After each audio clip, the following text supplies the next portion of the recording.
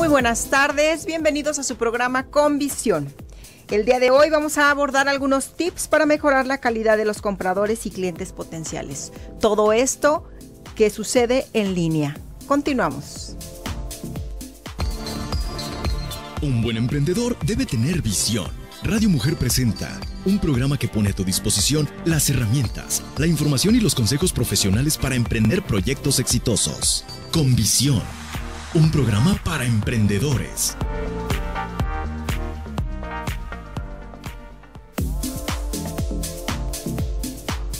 Bien, continuamos entonces en su programa Con Visión. Con visión de crecer, con visión de innovar, con visión de ser mejor. Y hoy estamos incorporándonos aquí con un experto en temas de comercio electrónico.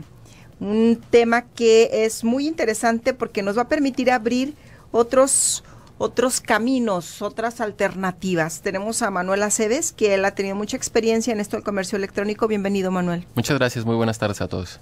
Bien, este programa con visión es posible gracias a todo un equipo de trabajo. El día de hoy tenemos aquí como operador a Giovanni Navarro. Muy bien, Giovanni, cubriendo a Arturo. Tenemos en el área digital a Abraham Mendoza y nuestra productora Gaby Velasco. Yo soy Betty Cuevas, a sus órdenes aquí en el micrófono, con toda la buena intención de poder compartirles herramientas, tips, consejos y algunas, algunos elementos que les puedan ayudar en el crecimiento de su negocio. Bueno, vamos a presentar a Manuela Aceves. Él es experto en comercio electrónico, tiene ya más de ocho años en esto, él tiene una ingeniería en computación, se ha dedicado primero a ir desarrollando estos software de tiendas en línea y a partir de ahí pues ha generado su propia empresa que hoy por lo que puedo ver son líderes en este tipo de servicios. Bienvenido entonces, Manuel. Vamos entrando en materia, ¿te parece? Adelante, muchas gracias.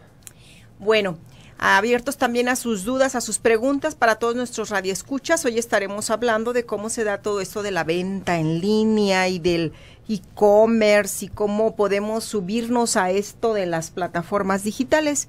Los teléfonos en cabina son el 3122-1190 y el 3647-1883. Si nos quieren mandar algún mensaje vía WhatsApp, 3310-190712. Muy bien, entonces vamos entrando en materia. ¿Te puedo decir, Manuel? Adelante, por favor, Betty. Manuel, eh, ¿qué diferencia tenemos de lo que se hacía en el comercio hace 15 años a lo que hoy hacemos? Híjole, esa es una cuestión muy interesante, es una pregunta un tanto amplia. Eh, podríamos eh, hacer incluso algunas analogías de lo que sucedía antes y de lo que está pasando hoy día. Eh, una que, tradicionalmente comparto con la mayoría de los empresarios es, es aquella en la que mm, tú te imaginas abrir una tienda física donde tienes tus stands y tus productos y de alguna manera pues haces todos los procesos naturales de, de un comercio para volverlo atractivo, para diseñar eh, tus procesos para que la gente sea amable y sea cordial con quienes entran o quienes acceden al lugar, para que todo esté dispuesto de tal forma que cuando alguien llegue encuentre lo que necesita sin demasiado tiempo, ¿no? O, sin demasiado eh, sin, demasiado sufrimiento, por decirlo así. Pues en línea es exactamente igual, ¿no? Tú, tú desarrollas plataformas y, eh, tecnología para que eh, de alguna manera brinde el hospedaje de estos productos y los muestre exactamente de la misma manera, que permita que sea rápido el acceso, que encuentres el precio de forma inmediata, que las características estén a la vista y que los beneficios sean muy claros de qué es lo que vas a obtener tú como cliente. Igualmente, en el mismo proceso de, hablar de esta tienda, podríamos decir eh, el hecho de cómo tú, tú das u ofreces tus diferenciadores y tus valores agregados, eh, de tal forma que pueden estar desde la parte de servicio, desde la parte de una combinación de precios o de tipo de producto. Lo puedes hacer igualmente en Internet, o sea, tú puedes tener productos y ofertas exclusivas que ayuden a tus clientes a encontrar eh, ese valor que aunque existan 100 tiendas en línea, pues la tuya tenga particularidades que otras no. Ok, yo recuerdo que hace muchos años cuando uno tomaba este tipo de talleres y estaba con las empresas abordando temas eh, de relación con el cliente, hablábamos de los momentos de verdad, que es ese contacto que se tiene del producto de las personas que lo, que lo comercializan o lo están vendiendo con el cliente, ¿verdad? Así es. Y entonces era toda una experiencia de compra porque tocabas el producto, lo olías, o sea, había como una serie de circunstancias. Así es. ¿Cómo, cómo es hoy en línea? Porque en línea eh, me queda claro que a lo mejor la fotografía pues está padre, pero luego a veces como que en la fotografía es como las hamburguesas, ¿no? La ves así súper grande. Enorme, sí. sí. enorme, y luego vas y te la entregan y dices, ay, no, creo que debí de haber pedido dos, ¿no? sí. Pues mira, es un tema un poco subjetivo. Sí. Sí estoy totalmente de acuerdo en esa percepción. Sin embargo, hasta cierto punto nos pasa en físico, ¿no? O sea, Sí. hablando del alimento, luego lo ves en una fotografía dentro del mismo restaurante y ya llega la entrega y es una decepción absoluta. Creo yo que el hecho de que esté en línea no necesariamente tiene que ir asociado con ese tipo de experiencia. Podemos buscar la manera de que el cliente pueda alcanzar a ver lo que puede obtener con ese producto. Y eso es con una fotografía que no solo muestra el producto per se, sino que también pueda ver el uso o el beneficio del uso de ese producto. O sea, tal vez una modelo utilizando los aretes o el collar o vistiendo cierto tipo de ropa. Y mejor aún, el contexto tal vez hasta de un video donde ves qué sucede en, en el día a día o en, el- en el- la vida diaria con el uso de ese producto y los beneficios que te, que te brinda. Eso vuelve un poco más humano el hecho de saber que lo que voy a comprar es realmente lo que yo quiero y que mejor aún me va a dar la experiencia que estoy buscando, porque al final la compra va más asociada por eso, ¿no? Sí, sí, sí. ¿Y, y qué, qué elementos encuentras tú en esto? Porque yo recuerdo que llegaba uno a, pues, a la tienda o al lugar y entonces sacas tu billete y le pagas, ¿no? Sí. Pero acá en línea, pues es suelta tu tarjeta y luego Claro. paga. ¿Qué- en México, ¿cómo, ¿cómo nos va en ese sentido? Bueno, hay un tema con, con los países latinoamericanos, no solamente Ajá. en México, que está relacionado con la con la bancarización, ¿no? Eh, el nivel de bancarización tal vez hoy día no es tan elevado y eso eh, de alguna manera hace que cierto segmento de mercado de personas no tengan acceso a poder adquirir los productos en línea. Sin embargo, las nuevas generaciones, como son los chicos millennials o incluso los centennials, tienen ya instrumentos que son híbridos, o sea, es la tarjeta del almacén tal vez, o la tarjeta para comprar X o Y cosas, donde tú le puedes depositar dinero y entonces ya no necesitas ser de crédito, sino esta puedes funcionar para los dos lados, tanto para tus compras de día a día como para la adquisición en, en línea. Entonces, esto nos ayuda un poquito a mejorar esa situación. Excelente, muy bien, pues estamos en este tipo de temas que son muy interesantes y queremos ampliar nuestra visión. Tenemos que voltear a ver la todo, todo la- lo que se da a través de la venta en línea. Entonces vamos a regresar con varios puntos que nos ha, ha preparado aquí nuestro experto Manuel Aceves. Los teléfonos 31 22 11 90 36 47 18 83. Después de una breve pausa regresamos.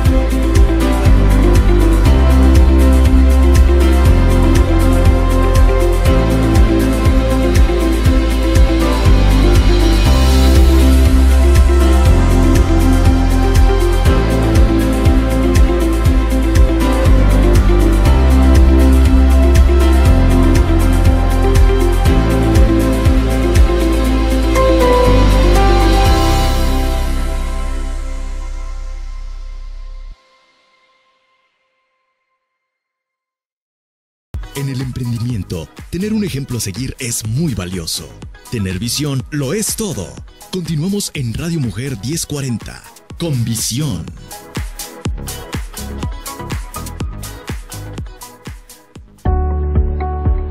Hace dos años, la Comisión Nacional del Sistema de Ahorro para el Retiro comenzó un proceso de digitalización a través del expediente electrónico único. Este es un archivo digital que conjunta tus datos, documentos e información personal, y en su caso, de tus beneficiarios. Se conforma una sola vez y te acompañará a lo largo de toda tu vida laboral.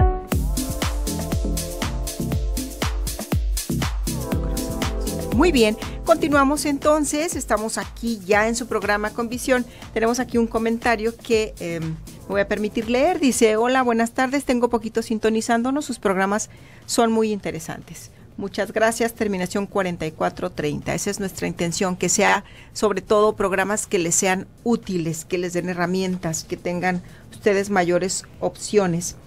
Continuamos entonces, estamos aquí tratando un tema muy importante, tips para mejorar la calidad de los compradores y clientes potenciales. Todo esto en el entorno que le llamamos el e-commerce, o sea, en línea, todo este comercio electrónico. Bueno, nuestro experto Manuel Aceves hoy viene a compartirnos algunos elementos. Pues adelante, Manuel. Gracias. Bueno, algunas generalidades que podríamos tocar que son importantes para que mejoremos la calidad eh, del tipo de clientes potenciales o compradores, son, que son dos distintos, ¿no? Ahorita hablamos un poquito de ello, pero de ambos, ¿cómo podemos lograr una mejor eh, calidad? Calidad en el sentido de consumo, ¿ok? Eh, ¿cómo, ¿Cómo lo logramos? Bueno, una de las columnas vertebrales de esto es tener una segmentación del mercado adecuada. ¿Qué es eso?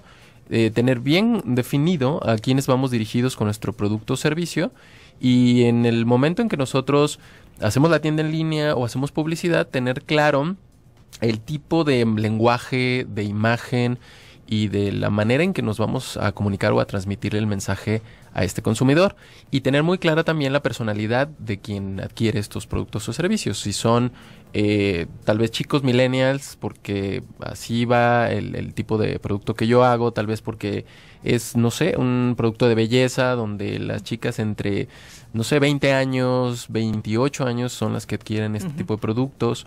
O es moda, tal vez hago ropa y la ropa va dirigida, no sé, a lo mejor un segmento un poquito más arriba a los, a, los de generación X que tienen un poder adquisitivo un poquito más fuerte, que ya tienen su trabajo estable, que son más eh, mujeres ejecutivas. Bueno, habría que pensar muy bien qué es lo que voy a hacer para volverme atractivo yo como, como vendedor ante este tipo de mercados, ¿no? Sí, fíjate que te comparto una experiencia que em, yo tengo poco, poca oportunidad porque tengo hijos y estoy también trabajando y todo esto de salir cuando quiero comprar algo en cuestión de ropa, ¿no? Sí. Entonces, un domingo fui con mi familia y a, la zona de Tlaquepaque, que es un municipio aquí cerca de Guadalajara, y entonces había una exposición de emprendedores y ahí estaban diferentes personas. Y recuerdo a una, a una diseñadora que hacía unos diseños muy bonitos en ropa, o sea, especiales porque eran únicos, ella los, los hacía, ¿no? No, no era como así que te encuentras 50 blusas iguales, no, sino que los hacía distintos. Entonces me llamó mucho la atención y yo dije, ay, yo quiero uno de esos, pero no traía dinero o efectivo, solamente traía tarjeta. Pero me sorprendió que ella ya estaba vinculada con la tecnología, o sea, traía su celular, puso un clip para una tarjetita y entonces no solamente le compré el primero que me gustó, ¿no? Sino que ya vi la opción y dije, ay, bueno, entonces esto tiene que ver con el con el mercado meta, o sea, a quiénes les voy a vender y tengo que traer todo lo que se requiere para que realmente se ejecute la venta. Es correcto. Porque con este tiempo de calor, pues yo no me iba a ir a buscar al primer cajero y todo eso, sino que me, el proceso tendría que ser más ágil, o sea, que de ahí yo decidiera la compra. Es correcto. Sí, una compra inmediata y como bien lo dices, efectivamente hay que pensar muy bien qué herramientas y qué elementos de valor vamos a tener, porque al final el hecho de que te acepten tarjeta de crédito es un diferenciador. Tal vez la mayoría de los que venden artesanías, si le podemos llamar así, o, productos hechos a mano, pues no tienen ese tipo de, tecnología. Y la verdad es que no es caro, ¿eh? O sea, estamos hablando de que un dispositivo de ese tipo te cuesta entre 400 y 500 pesos. O sea, el clip como esa cantidad me cuesta. Sí, aproximadamente. Y lo único que haces es vincularlo con tu cuenta bancaria. Ajá. Y ahí te depositan después de las de las comisiones y todo lo que lo que en algún momento dado te llegará a cobrar el, sistema. Pero es accesible porque no tienes que hacer grandes trámites. Claro, y luego también te puedes evitar esto de que puedes vender mucho y todo, pero ya no llevas el efectivo, ¿no? Así es, incluso reduces el riesgo pues por el hecho de recibir transacciones electrónicas en lugar de, efectivo. Así es. Ok, muy bien. ¿Cómo esto de las redes sociales, este, Manuel, se utiliza para generar esa confianza? O sea, que la gente cuando llega ya con nosotros como sus em, proveedores o como alguien que le vas a comprar, diga así como que ya los conozco. Muy bien otra vez haciendo como las analogías de los modelos de venta tradicionales y los digitales, eh, las redes sociales funcionan eh, un poco como lo que era el comprador eh, de recompra, valga la redundancia. ¿Qué es eso? Alguien llegaba, accedía a tu producto y tiene la opción de recomendarte o ser el detractor de tu producto, ¿no? Esos son de alguna manera las redes sociales se han convertido en el portavoz de la recomendación de si sirve tu producto o no sirve, si eres bueno en lo que haces, si al final de cuentas la experiencia que tuvieron al acceder a ti fue lo, realmente esperado, la superaste o fue pésima experiencia. Todos esos escenarios se manejan a través de las redes sociales y pueden jugar un papel muy importante porque al final de las cosas mucho de eso determina el que nuevos compradores accedan a ti. Porque lo, lo, tradicionalmente que sucede hoy día en los medios digitales es que antes de adquirir en una página web o en una red social, pues investigas qué son los comentarios que se están hablando ahí. Y si mucho de eso la calificación es mala o hay comentarios que son contundentes y te dicen nunca entregan a tiempo, la calidad es baja, lo que me prometieron nunca me fue dado, pues adiós compra, ¿no? Sí, y está tan inmediato como en una, una, necesidad básica. Por ejemplo, si nosotros ahorita decimos vámonos a comer, ¿no?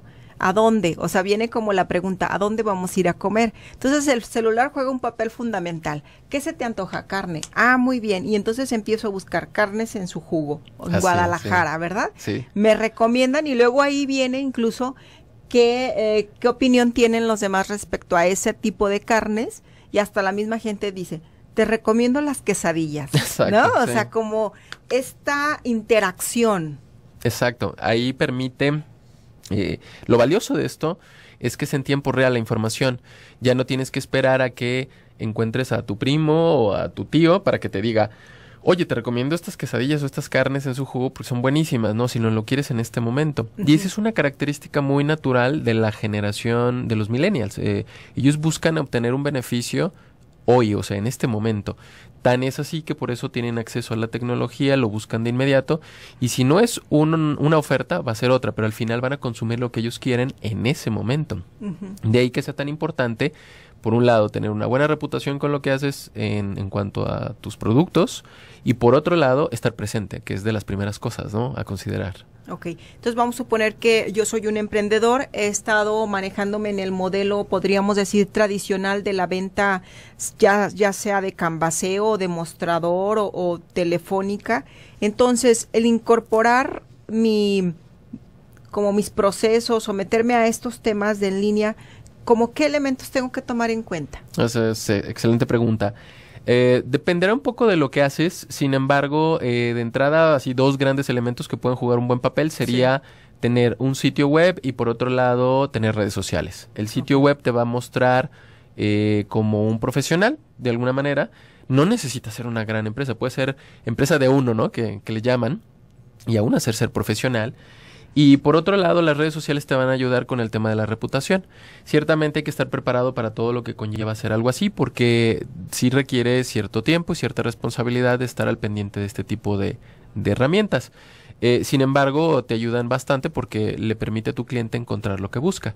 De hecho, e, esa es una situación que puede llegar a ser un estimulante para que tus clientes te prefieran o para que aumentes la calidad de los clientes. Si yo llego a tu sitio web una y otra vez y encuentro lo que busco de manera rápida y precisa, pues va a ser muchísimo más probable que me convenza y te adquiera en ese momento a que tenga que estar brincando entre otras páginas web y pensar mucho más mi decisión de compra. Claro.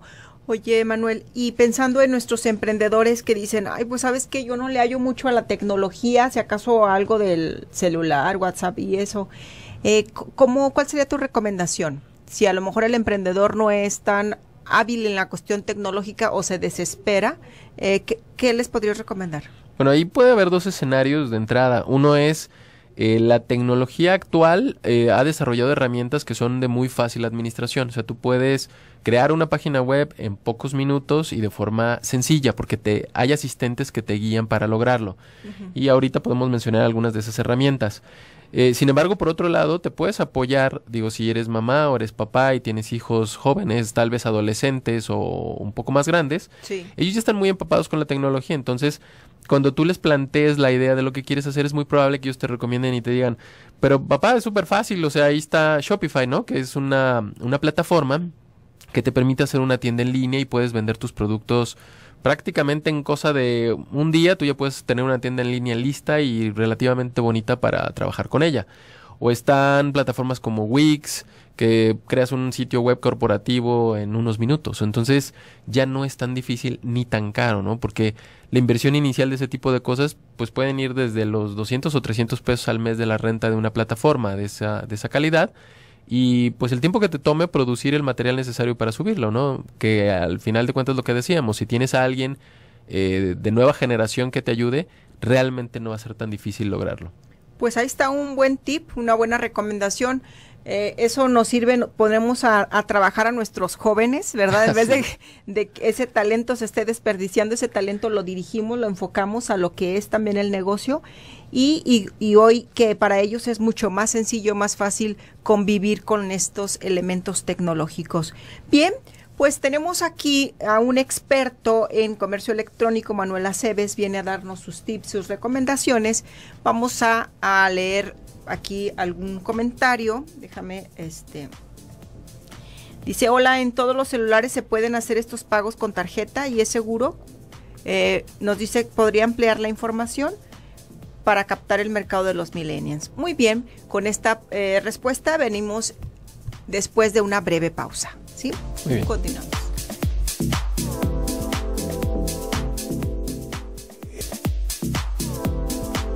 Bien, continuamos. Teníamos aquí esta preguntita que nos mandaba a terminación 0480. Dice, eh, nos preguntaba que si en todos los celulares se pueden hacer ese tipo de pagos con tarjeta. Eh, ¿qué, nos puedes recomendar ahí, Manuel? Muy bien, bueno, ahí eh, si hablamos de los dispositivos que se adaptan a los celulares, la mayoría de los celulares pueden aceptar ese tipo de tecnología. Em, realmente más bien depende como de la generación del celular, esto es, qué tan antiguo es, pero yo pienso que con dos o tres años máximo de antigüedad perfectamente puedes utilizar este dispositivo. Ok, y también nos comparte que qué tan seguro es ese tipo de método de pago. Bueno, ahí es más bien, eh, es seguro para el vendedor o, para la empresa, eh, sin embargo es más bien que tanto le tiene confianza a tu cliente. E, ese sería como el comentario. Eh, si el cliente no ve mal que tengas que firmar sobre la pantalla touch del celular, pues no pasa nada, ¿no? Es, ese sería el único tema. Creo que la mayoría de los compradores ya están un, tanto acostumbrados a esto, pero creo que es el único riesgo, por así decirlo, ¿no? Ok, muy bien. También tenemos aquí a otra pregunta de nuestro radio escucha. Él es un radio escucha que es eh, fiel aquí al programa. Enrique Sánchez dice, ¿con cuánto dinero se puede poner el equipo para tener tienda en línea en página web? O sea, estamos hablando como de presupuesto. Muy bien, mm, haciendo así números rapidísimos. Eh, vamos a hablar de algo súper emprendedor, ¿no? Eh, decíamos hace un momento Shopify, ¿no? Que es una plataforma. Creo que la versión de, Shopify, Shopify, perdón, más económica ronda los 300 pesos mensuales. Entonces sería la renta de la plataforma. Eh, tal vez hay lugares de, por internet donde tú puedes descargar fotografías de stock, entonces no creo que sea tan necesario en un principio, exceptuando las fotografías de tus productos. Las fotografías de stock visten tu sitio de una forma profesional y las fotografías del producto dan el, escenario real de qué es lo que yo voy a obtener.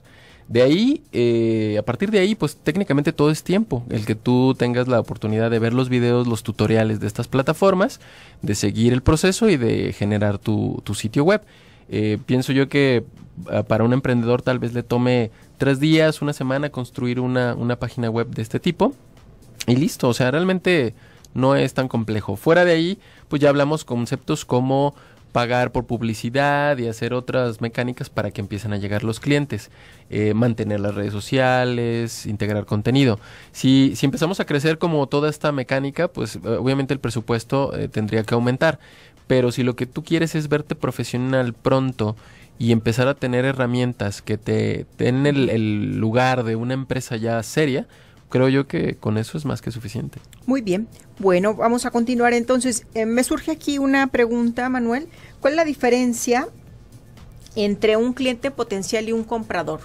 Ah, interesante y grande la diferencia. Eh, vamos pensando esto. El comprador es cuando se logra el hecho de que yo pueda acceder a tu sitio web, eh, veo los productos, los selecciono, eh, y literalmente los compro porque paso mi tarjeta de crédito en, en tu sistema de cobro en Ajá. línea y se hace la transacción completa. Esto es, me dispara a mí un número de pedido, me da Sí. las condiciones en que me vas a entregar y yo estoy ya a la espera para que cuando la mensajería llegue a, a casa, pues me haga la entrega del mismo, ¿no?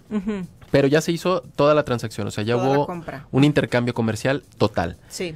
En el caso de un cliente potencial es para aquellas empresas eh, que se dedican a vender intangibles o servicios y que de alguna forma eh, no puedes adquirirlo en línea porque no es así. No sé, si tú ofreces servicios de asesoría o de eh, consultoría, eh, tanto médica como eh, psicológica o, o de salud, pues eso es más el reunirnos y el que tú me des el servicio de tu información como experta y entonces yo escuche, ¿no? Ese, ese tipo de escenarios, tal vez lo que se puede hacer es que yo pueda hacer la cita en línea, pero no, te, no adquiero absolutamente nada en tu página web. Ahí sí es un cliente potencial totalmente y lo que yo estaría esperando es eso, precisamente, que me contactes, eh, que me envíes la información eh, básica para saber cuál es el, el problema que tienes y cómo te puedo ayudar. O, como decíamos hace un momento, que yo pueda hacer la cita en línea y que yo ya esté esperando eh, acceder a tus servicios en algún punto y una fecha pactada, ¿no? Eh, la diferencia es grande porque el cliente potencial no te garantiza que el negocio se va a cerrar. Si yo hago una cita en línea, no, no garantiza que va a asistir y que por ende me va a pagar mis servicios. Mientras que cuando vendo productos en físico como un comprador, yo ya tengo hecho el 100% de la venta, ¿no? Que es lo que se menciona mucho en las ventas tradicionales. No es venta hasta que no has cobrado el importe, ¿no? Sí. Acá es más o menos lo mismo. Entonces, eh, partiendo de esa idea, eh, lo, Mm. que, lo que se genera muchas veces por internet son clientes potenciales en donde tú tienes un porcentaje de conversión. Conversión significa que los vas a convertir de cliente potencial a comprador, pero este proceso ya va a suceder en físico. O sea, el Internet te da un paso o te allana el, el camino para que no tengas que estar buscando clientes potenciales en frío, que también es una práctica que a veces no es tan contundente ni tan efectiva, ¿no? Claro, o sea que ya te lleva un registro, ¿no? De todos los que ingresaron y que pidieron datos o algo. Hay manera de obtener si en este mes tuve 20, 50 clientes potenciales, o sea, hay, ¿cómo, ¿cómo manejan esta parte de los datos? Puede ser que tú tengas formularios donde le solicitas información básica o importante para ti para dar el seguimiento, que eso es un tema muy importante. Si tú le solicitas el nombre y el teléfono, no necesariamente eh, hay un paso para que tú puedas ayudar mejor a ese cliente.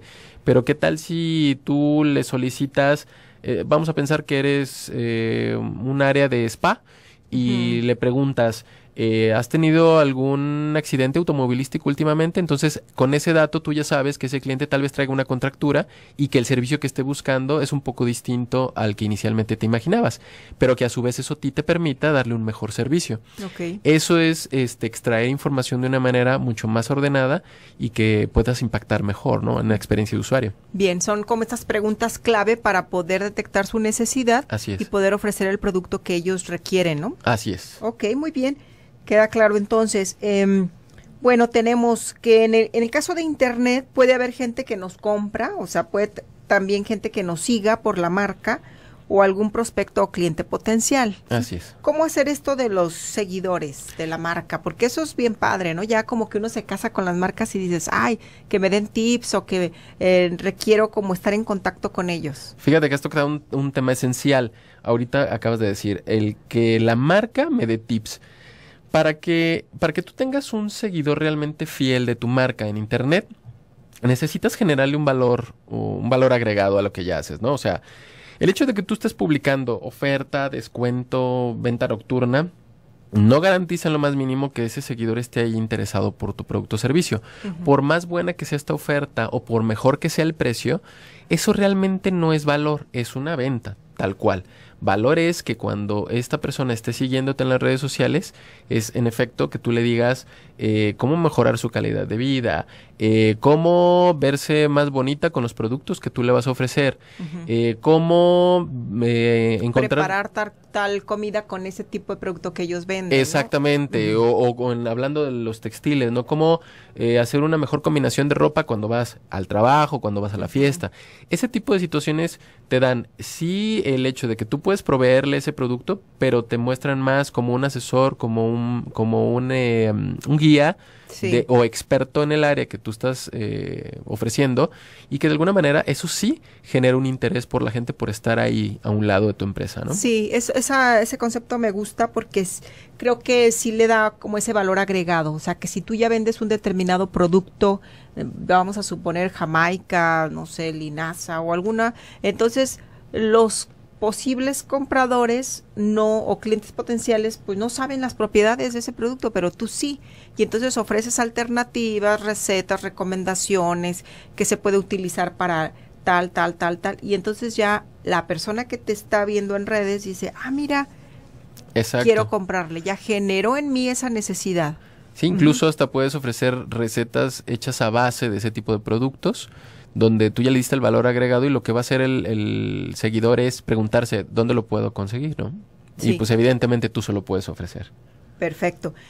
¿Cuáles son los estímulos para los clientes potenciales? ¿Cómo los acercamos? Porque yo creo que todos los emprendedores queremos tener más clientes. o sea, a ver cómo le, cómo le hago para que tengamos más clientes y clientes potenciales, no nada más aquel que, bueno, te saluda, sino que el que es potencial para la compra. Exacto. Yo creo que un, primer punto son los contenidos claros, lo, lo, veníamos diciendo hace un momento, ¿no? Que seas muy puntual en lo que ofreces y esto es, eh, ¿qué es? Así tal cual, o sea, que, les puedas responder las preguntas. ¿Qué es lo que, lo que puedo obtener de ti? ¿Cuánto cuesta? ¿Y cuándo me lo entregas? ¿Y en qué condiciones, no? O sea, ¿cómo?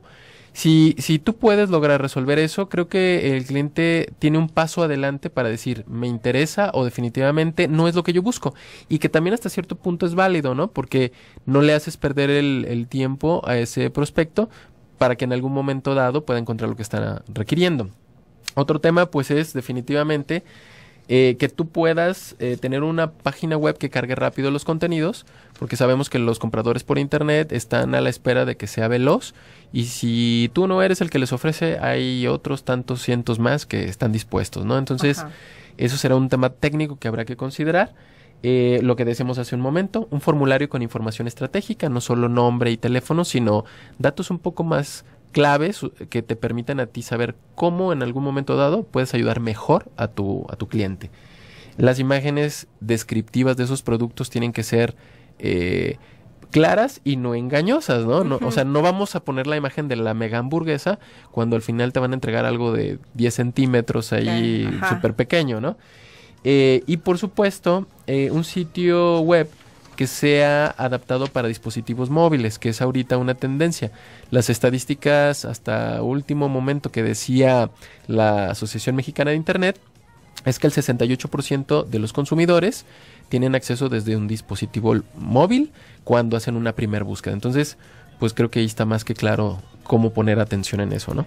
Muy bien, pues vamos a, dar los teléfonos en cabina. Ya tenemos aquí algunos WhatsApp que vamos a leer una vez que regresemos de esta, de esta breve pausa. Si nos quieren eh, mandar alguna pregunta, algún mensajito, 33 10 19 07 12 o teléfonos en cabina 31 22 11 90 36 47 18 83. Regresamos después de esta breve, breve pausa.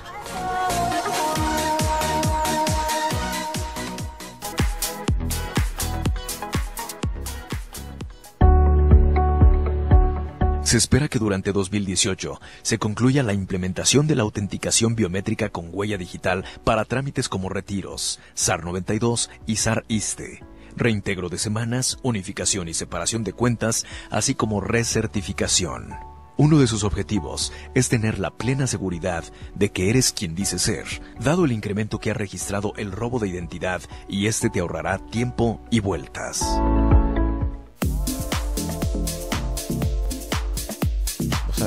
Bien, estamos aquí en su programa Con Visión. Vamos a leer algunos de los comentarios que nos dejan aquí amablemente nuestros radioescuchas. Este, terminación 5366 dice, hola Betty Manuel, cuando inicias debes de ingresar por, por Shopify o solo por Face.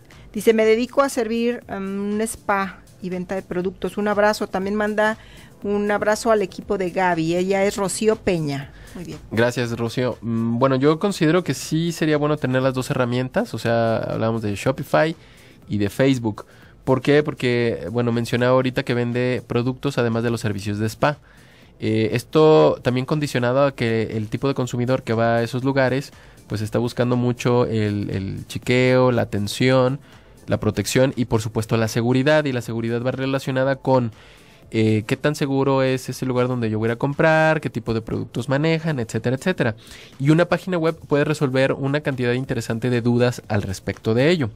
De tal forma que antes de yo asistir, pues puedo saber cuáles son los servicios que ofreces, el tipo de productos que estás utilizando y entonces ya eso genera un convencimiento para acceder a.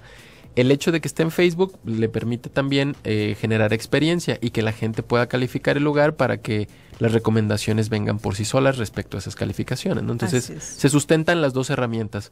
O sea que sí, totalmente eh, recomendado. Incluso Shopify tiene una herramienta para que puedas conectar Facebook y los productos que tienes en Shopify se pueden vender en la tienda de Facebook. ¿no? Entonces, se son hacer- complementarios. Sí, así es, así es. Perfecto, muy bien. Tenemos también desde Rosy, que a veces nos escucha desde Austin, Texas. Dice, hola, cada día está mejor los temas y los invitados, pero hoy se, se, am, dice, alzaron la barda. Muy bien, este tema me cayó como anillo al dedo. Gracias. Más aún Gracias. al invitado. Muchas gracias. Muy bien, Manuel. Entonces seguimos. Dice, felicidades a Manuel, excelente asesor y profesional. Saludos de su cliente Margarita Campos. Ah, con todo gusto, Margarita, gracias.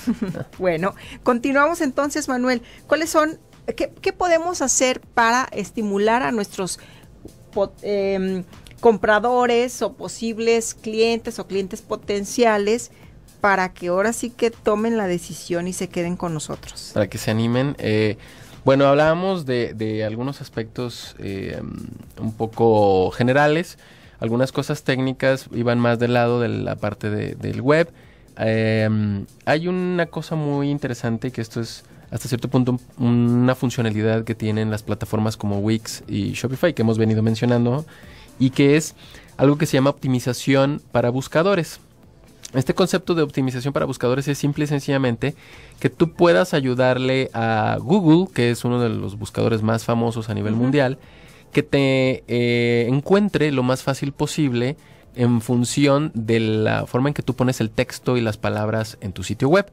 Entonces, eh, esta herramienta lo que hace es que tú tengas la posibilidad de redactar cierto texto con una congruencia muy grande y muy alta para que cuando vengan búsquedas como decíamos hace un momento, eh, spas en Guadalajara o producto de masaje relajante o gel para suavizar la piel o crema para eh, antiarrugas, ¿no? Ajá. Ese tipo de cosas eh, deberían de estar perfectamente bien eh, establecidas en tu sitio web y la mejor manera de hacerlo es utilizando estas herramientas.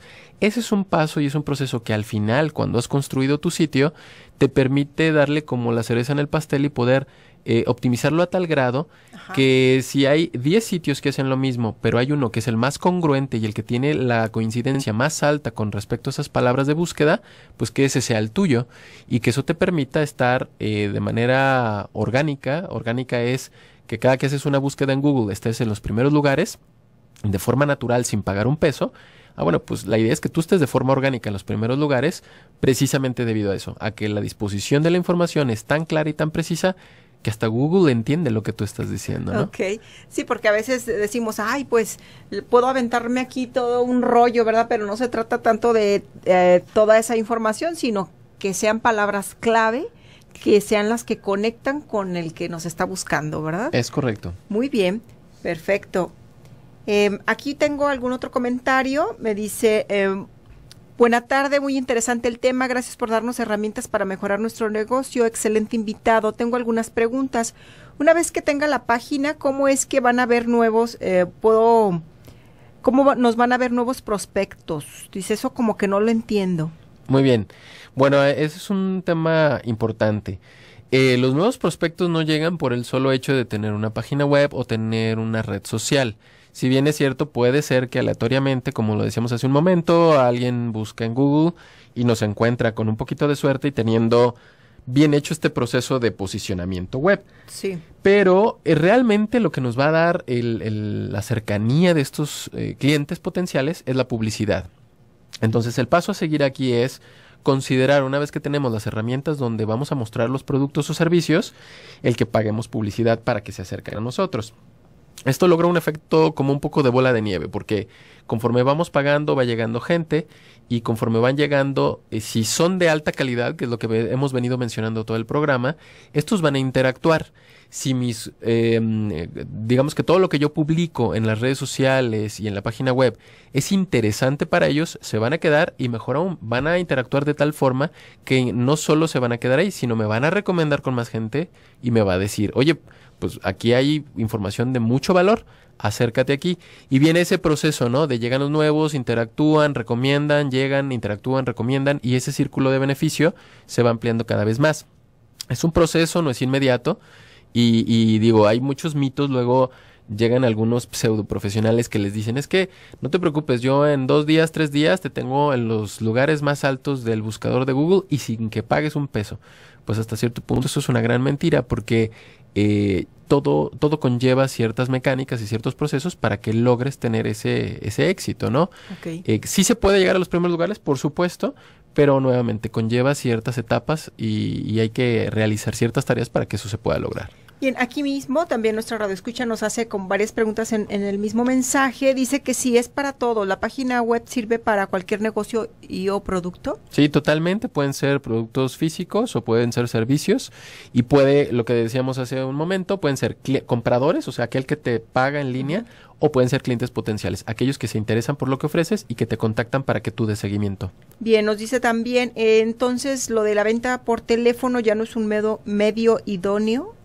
Bueno, es que esa es una pregunta un poco abierta porque el, si tú, si nos vamos al cliente potencial, el cliente potencial lo que va a hacer es, se acerca a ti a través de la página web y tú das un seguimiento, incluso muchas veces telefónico, no necesariamente por correo.